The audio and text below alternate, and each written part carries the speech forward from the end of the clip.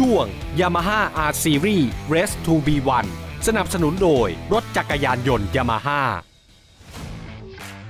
อีกหนึ่งความท้าทายบนเวทีบิดระดับโลกของทีมแข่ง Yamaha Thailand Racing Team ในศึก World Super Sport Championship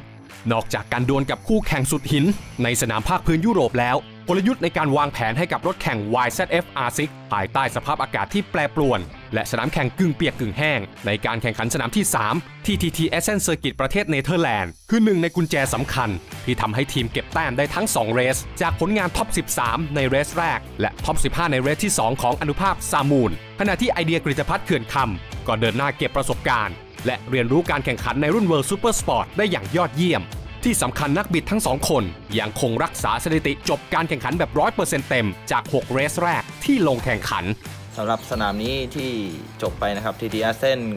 ก็มีสภาพอากาศที่ค่อนข้างจะยากลำบากต่อการตัดสินใจนะครับ แต่ทีมงานของเราก็ได้ฟันธงเรื่องสเปคในการลงไปขับขี่และขับแข่งในแต่ละ section นะครับ สิ่งสำคัญที่ทำให้เรากลับมาคว้าแต้มได้ก็คือทีมเวิร์กที่ทำงานด้วยกันอย่าง คล่องแคล่วว่องไวครับในการเปลี่ยนยาง เพราะว่ามีสภาพอากาศที่เดี๋ยวฝนเดี๋ยวแห้งนะครับ ก็ทำให้เรากลับมามีแต้มในหัวแถวได้ ก็จะสู้กันต่อไปครับที่มิซาโนครับฝากแฟนๆติดตามเชียร์พวกเรา Yamaha Thailand Racing Team ที่มิซาโนประเทศอิตาลีครับในเดือนหน้าครับผมขอบคุณครับสำหรับสนามที่3ครับของรายการ World Superbike สนาม TT Assen Circuit ครับ ผมคิดว่าเป็น การตัดสินใจถ้าส่วนใหญ่ครับ เพราะว่าบางช่วงก็มีทั้งตกฝนตกบ้างแล้วก็ไม่ตกบ้างครับ แต่ว่าสำหรับสนามนี้ผมก็พอใจสำหรับผลงานครับ แต่ว่าก็ยังต้องพัฒนากันต่อไปเรื่อยๆครับ